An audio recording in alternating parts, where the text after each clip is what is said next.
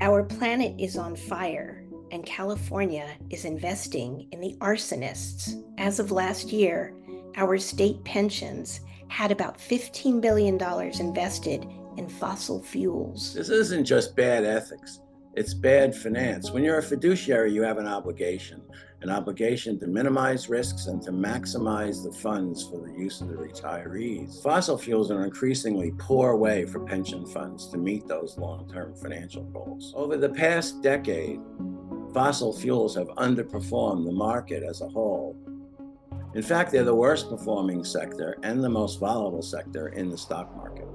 Leading economists and financial experts warn that the industry's future looks grim.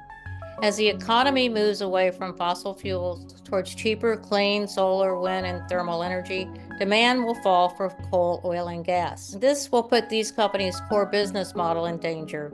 Meanwhile, fossil fuel companies continue to sell bonds to invest in even more reserves, even though the experts tell them these investments will result in stranded assets, a major loss.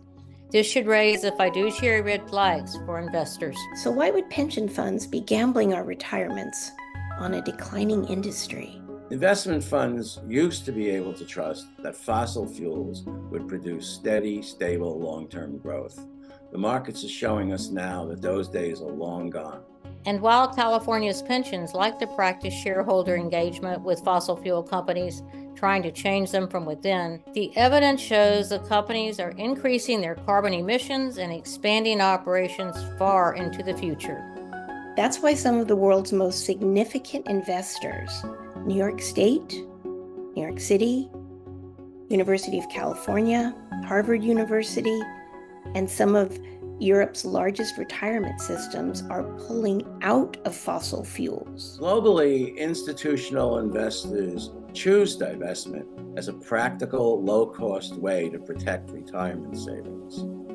Financial risks from climate change require decisive and common sense action. As teachers, we spend our entire career empowering the next generation. We want a pension that's there for us and a planet that's there for them. That's why we are supporting SB 252 to make California's funds fossil free.